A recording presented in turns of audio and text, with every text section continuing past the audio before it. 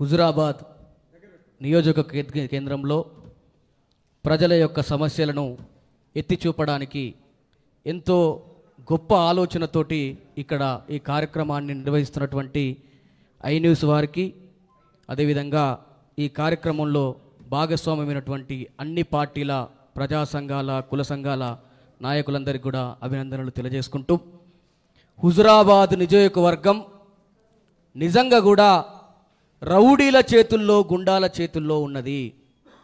హుజరాబాద్ నియోజకవర్గంలో హుజరాబాద్ నియోజకవర్గంలో ఎన్నికల ఉప ఎన్నికల సమయంలో హరీష్ రావు గారు ఇక్కడ తిరిగి ఇచ్చినటువంటి హామీలు ఇంతవరకు ఏవి కూడా అమలు కాలేదు. రెండవదిగా ఈ హుజరాబాద్ గడ్డ మీద ఇక్కడి ప్రజల మీద అనేకమైనటువంటి దాడులు జరుగుతూ ఉన్నాయి. వారి ఆత్మగౌరవం దెబ్బతింటా ఉన్నది. కులాల పేరుతోటి దూషిస్తూ ఉన్నారు. వారి ప్రాణాలను హరిస్తూ ఉన్నటువంటి సందర్భం ఉన్నది.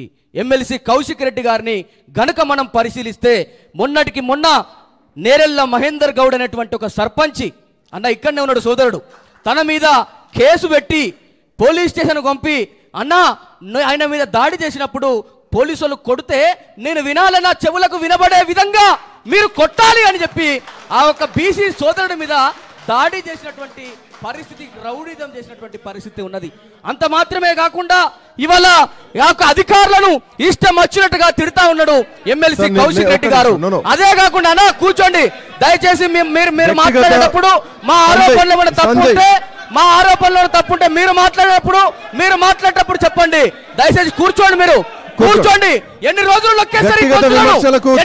నొక్కేసరి గొంతులను? దయచేసి వ్యక్తిగత విమర్శలు చేయదు. మీ పని సంజయ్. మాట్లాడే వారందరి మీద దాడులు చేసిరండి మీ పని ఎన్ని రోజులు నొక్కేస్తారు గొంతులను సంజయ్. దయచేసి కూర్చోండి నేను ముందే చెప్పా ఇది ఇది ఇది రాజకీయ వ్యక్తిగత- నేను ప్రజల సమస్యలనే నేను to ప్రజల. సమస్యలనే తెలియజేస్తా ఉన్నాను నేను. ప్రజల సమస్యలనే. తెలియజేస్తా ఉన్నాను గమనించండి. నాను. అవకాశం ఇవ్వండి నేను మాట్లాడదాకా అవకాశం ఇవ్వండి నేను ప్రజల సమస్యలనే. తెలియజేస్తా ఉన్నా సంజయ్. నేను ప్రజల సమస్యలనే తెలియజేస్తా ఉన్నా కూర్చోండి ఎవరు దయచేసి కూర్చోండి కూర్చోమని చెప్పండి వాళ్ళని రౌడీజం గుండాయిజం ఇదేనా మీ పరిపాలనకు అర్థం మీ నియోజకవర్గంలో జరిగిన అభివృద్ధి ఏంది? జరగాల్సిన అభివృద్ధి ఏంది? టీఆర్ఎస్ పార్టీ నాయకులు మీరు సమాధానం చెప్పండి మీకు మైక్ ఇస్తాం. సార్ మీరు అధికార పార్టీలో ఉన్నారు మీరు ఓపిక ఉండాలా? శ్రీను సార్ సార్ ఈ పద్ధతి కరెక్ట్ కాదు ఇది. నన్ను కూర్చోండి. మీకు మీకు నేను మీకు ప్రజా సమస్యల కోసం మాట్లాడమని ఇచ్చిన. ప్రజా సమస్యల కోసం మాట్లాడమని ఇచ్చిన. ప్రజా సమస్యల గురించి మాట్లాడమని చెప్పిన. ఇలాంటి వల్ల ఇలాంటి వాటి వల్ల ఇలాంటి వాటి వల్ల ఇలాంటి వాటి వల్ల చర్చ డిస్టర్బ్ అవుతుంది. మీరు మీకు మీకు మీకు నియోజకవర్గం గురించి అభివృద్ధి జరగాలనుకుంటే అది మాట్లాడండి. Mic.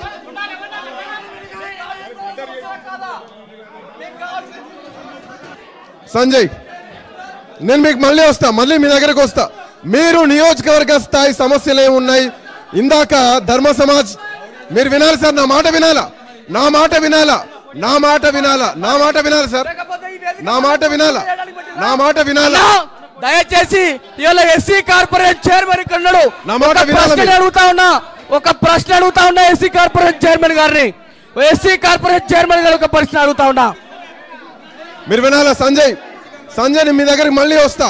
No no this is not correct you have to respect the show మీరు లోపలికి వెళ్ళిపోండి. దయచేసి లోపలికి వెళ్ళిపోండి. లోపలికి వెళ్ళిపోండి. లోపలికి వెళ్ళిపోండి. లోపలికి వెళ్ళిపోండి. నో నో, పోడియంలోకి రావద్దు. దయచేసి పోడియంలోకి రావద్దు. పోడియంలోకి రావద్దు. పోడియంలోకి రావద్దు. ఇది కరెక్ట్ కాదు. మీరు మీరు వెళ్ళిపోండి సార్ మీరు back go back go back go back go back sir మీకు మైక్ ఇస్తాం. సార్ మీకు మైక్ ఇస్తాం. సార్ మీకు మైక్ ఇస్తాం. Go back